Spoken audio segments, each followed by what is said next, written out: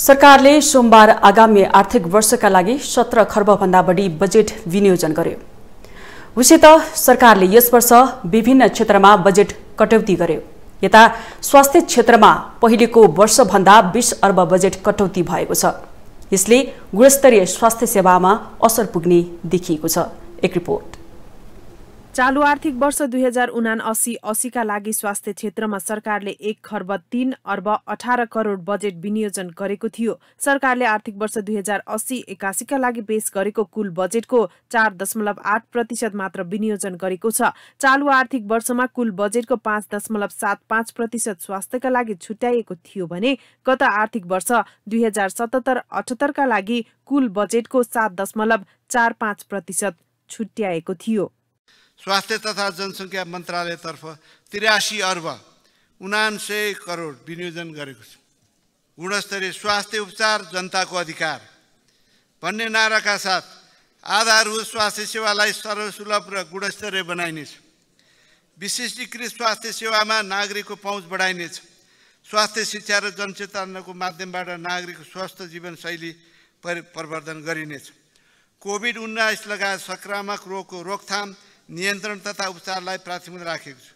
महामारी विरुद्ध जनचेतना अभिवृद्धि स्वास्थ्य मापदण्डको परिपालना खोप सेवाको सुनिश्चितता र उपचार सेवालाई समन्वयात्मक रूपमा कार्यान्वयन गर्न बजेटको व्यवस्था गरेको छु।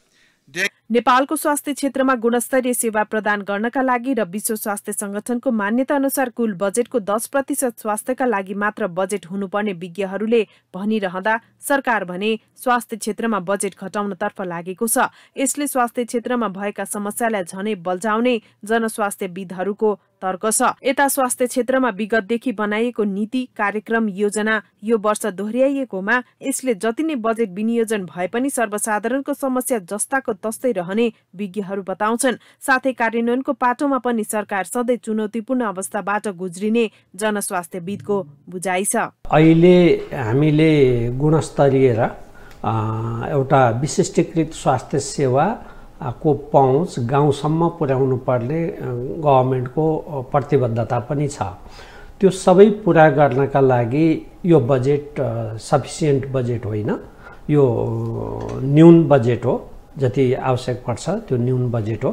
त्यस कारणले राज्यले तय गरेको जुन गुणस्तरीय र विशिष्टीकृत स्वास्थ्य सेवाको पहुँच सबै जनतासम्म पुर्याउने भन्ने कुरा यो बजेटबाट हामी सम्भव देख्दैनौँ। बजेटमा निशुल्क औषधि अस्पतालको क्षमता वृद्धि स्वास्थ्य बिमा आधारभूत अस्पताल सञ्चालन उपकरण खोप सेवा उपचारलाई समन्वयात्मक रूपमा कार्यान्वयन गर्ने लगायतका विषयहरू विगतमा झै यस पटकको बजेटमा पनि समेटिएको छ। तर सधैँको जस्तो कार्यान्वयनमा भने सरकार चुक्ने गरेको छ। यता सरकारी स्वास्थ्य संस्थामा सत्तरी प्रतिशत भन्दा बढी दरबन्दी रिक्त रहेको तर सरकारले भने दरबन्दी थप गर्नुभन्दा पनि पूर्वाधारमा मात्रै जोड दिएको प्रश्न छ। यसले नेपालको स्वास्थ्य क्षेत्रमा भएका समस्या समाधान तथा सर्वसुलभ र गुणस्तरीय सेवामा असर पुग्ने देखिन्छ।